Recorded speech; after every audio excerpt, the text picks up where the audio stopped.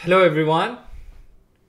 Today in this video, we are going to take a look at how to set up your Salesforce org for development. My name is Mohit. I am a developer advocate here at Salesforce, and I want to welcome you to the third episode of the series DevOps Essentials.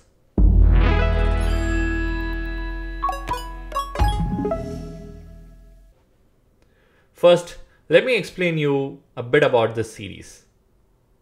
In this series, we cover fundamental concepts around DevOps best practices for building and deploying Salesforce application. In case you have missed our previous episodes, be sure to check it out. First thing first, let's talk about creating your org for development. When it comes to building Salesforce apps, you have two options, developer sandboxes or scratch orgs. But how do you know which one to choose?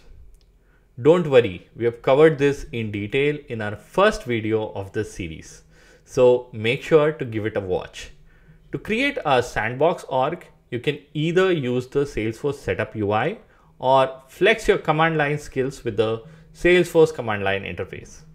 For example, here I'm showing the command to create a sandbox environment. Another useful feature is ability to be able to clone a sandbox. You can clone a sandbox either using the Salesforce setup UI or using the CLI. Here I'm showing you the command to clone a sandbox. And for scratch orgs, it's as simple as using the Salesforce CLI command. Now, no matter which options you choose, it is crucial to match editions and licenses with your production orgs. Sandboxes inherit editions and licenses from production orgs. While for Scratch orgs, we recommend using a feature called org shapes to mirror the baseline setup of a production org. To learn more about org shapes and their incredible capabilities, check out the link below for an in-depth video. Now let's move on to replicating metadata from production to your development orgs. If you're using developer sandboxes, you can easily refresh them from production, copying all the metadata and the configuration. This can be done through the Salesforce setup screen. But what about Scratch orgs? Well, for initial setup, you will need to pull metadata from production to your source control and then deploy it to the org using the Salesforce CLI. Here is a command to generate a manifest file for all of the metadata in an org. Alright, so once you have a manifest file, you can use this to pull all of the metadata. This command that I show you here, you can use to pull all of the metadata from the org using the manifest file that we previously generated. Whether you are using sandboxes or scratch orgs, you will need to pull metadata from production to the source control for better governance and change management.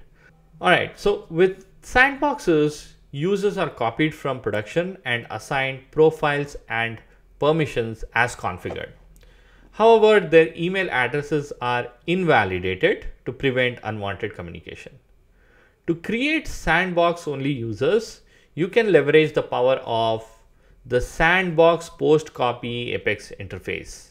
Check out this example code that shows you how to use sandbox post copy interface to generate sandbox only users.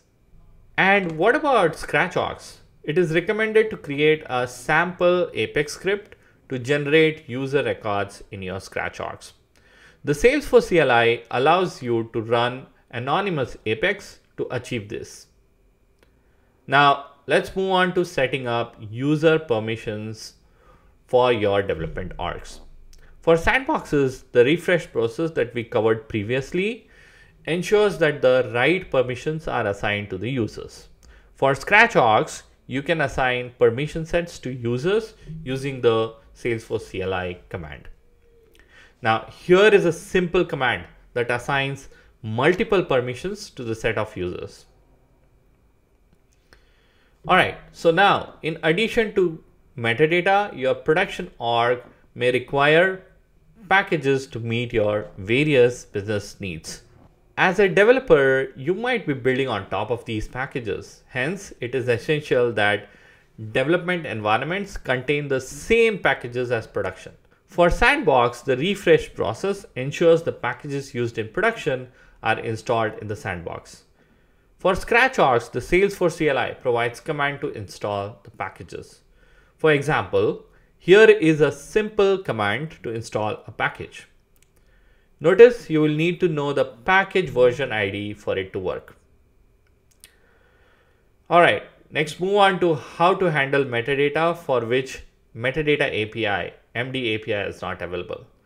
Now, there are times when some of your productions or configuration is not yet supported by the metadata or MD API. Here is a list of metadata for which MD API is not available yet.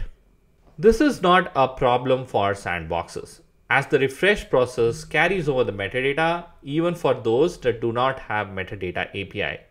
However, for Scratch orgs, we recommend that you either maintain a document with detailed steps to replicate configuration manually or use Puppeteer or Selenium, an open source tool to write scripts to execute configuration steps automatically. All right, Next, let's discuss mocking integrations in your development orgs. Salesforce apps can be connected to third-party systems for data or process integration. To prevent from mistakenly sending sandbox data to third-party services, it is recommended to create mock endpoints for testing in your development orgs. When building integrations, consider using custom metadata in your application code. This allows you to easily switch integration endpoints between production and your development environments.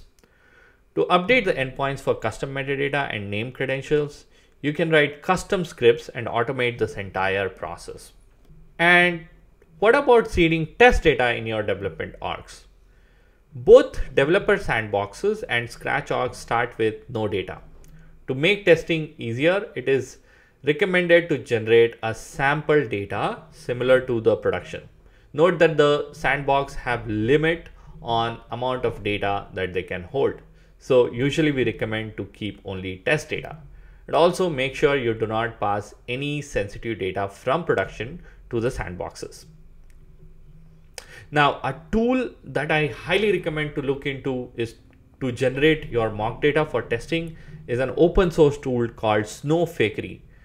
Now the link for this tool is shared in the video description down below. Now for migrating data from Salesforce orgs to other Salesforce orgs or for local machines, there are various out-of-box and partner provided tools available. The Salesforce CLI provides data commands that allow you to perform data migration tasks like inserting and importing bulk data. Like this command that lets you insert and perform bulk data imports. Now, for complex use cases, we recommend exploring tools like SFDMU. SFDMU is an open source tool with both command line and desktop interfaces designed to make data migration a breeze. To wrap it up today, you've learned how to set up your development environments from creating orgs to deploying metadata, mocking users, setting up permissions and integrations and seeding data.